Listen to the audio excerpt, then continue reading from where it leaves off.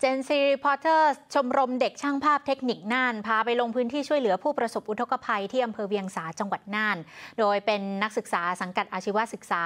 ไปช่วยในการซ่อมแซมเครื่องใช้ไฟฟ้าและอุปกรณ์อิเล็กทรอนิกส์นะคะนี่เป็นการนำความรู้ความสามารถที่เรียนมาใช้ให้เกิดประโยชน์ ติดตามจากนักข่าวพลเมืองค่ะ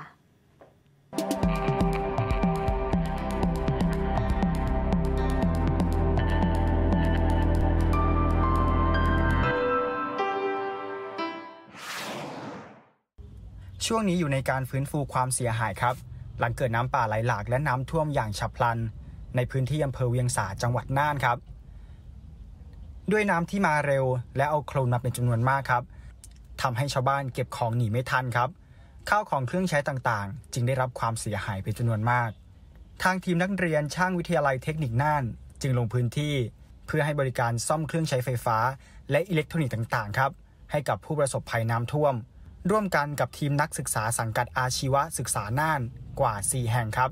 ในนามศูนย์ซ่อมสร้างเพื่อชุมชน Fix It Center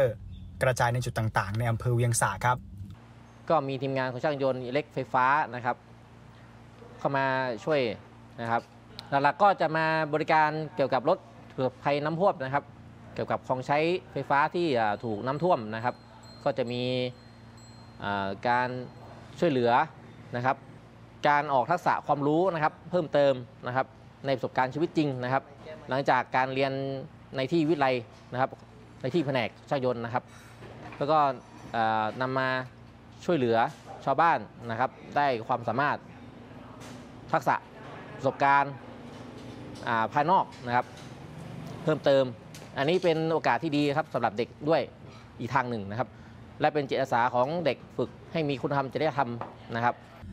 ในการลงพื้นที่ครั้งนี้ครับ เป็นการส่งเสริมให้นักเรียนอาชีวะ ได้นำความรู้ที่เรียนมาช่วยเหลือสังคมตามสาขาวิชาชีพครับ ทั้งการซ่อมเครื่องจักรกลการเกษตร รถยนต์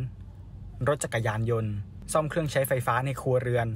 และอุปกรณ์อิเล็กทรอนิกส์ให้กับคนในชุมชนที่ประสบภัยจากน้ำท่วมครับ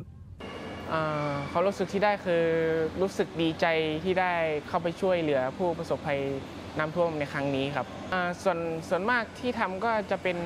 แกะแกะออกมาก่อนครับ แกะเพื่อล้าง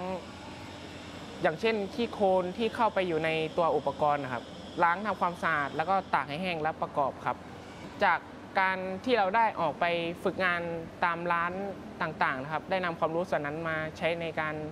ซ่อมแซมอุปกรณ์ครับ นี่คือบทบาทและหน้าที่หนึ่งนะครับของสถาบันการศึกษา คือการบริการสังคม และเป็นส่วนหนึ่งของชุมชน เพราะความรู้ไม่ได้อยู่แค่ในห้องเรียนเพียงอย่างเดียวครับ แต่สามารถนำมาใช้ให้เกิดประโยชน์ได้อย่างแท้จริง ทั้งยังเป็นการส่งเสริมให้นักเรียนนักศึกษา มีจิตอาสา และใช้เวลาว่างให้เกิดประโยชน์นำทักษะความรู้ของตัวเองมาช่วยเหลือสังคมต่อไปครับ นักข่าวพลเมือง ชมรมเด็กช่างภาพเทคนิคน่าน รายงาน thank you